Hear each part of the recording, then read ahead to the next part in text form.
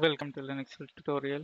I'm going to explain about how to install Jupyter in Ubuntu 16.04. Jupyter Notebook is an open source interactive web app which is used to create documents that contain live code, equations, visualizations, and explanatory text. The Jupyter Notebook supports more than 40 programming languages now we can see the installation of Jupyter Notebook. For installing the Jupyter Notebook, first we need to install the dependency packages for the Jupyter. First you need to install the Python, Python pip and Python development packages using the following commands. Now give enter. Now give us to download and install the packages. This will take some time. Now the installation is completed. Next we can install the IPython and IPython notebook.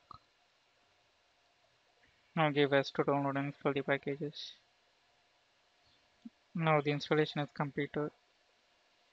Now before installing the Jupyter notebook, you need to update the pip.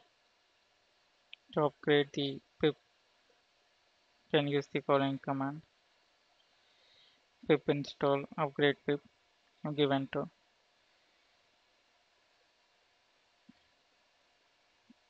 Now it is updated to 9.0.1 now we can install the Jupyter. To install the Jupyter you need to use the following command pip install Jupyter. Give enter. Now the installation is started. This will take some time now the installation is completed. Now to start the Jupyter notebook, can use the following command. To run the Jupyter notebook app as root, need to use the hyphen hyphen allow hyphen root option. Before starting the Jupyter notebook, you can add your all the IPs to access the Jupyter notebook. Now give enter. Now run the Jupyter notebook. Now you can see the Jupyter notebook is open. And here you can see the files. New system. Now you can create a new notebook using the new option here. Just click new and select the new notebook with the Python 2 you can enter your codes here.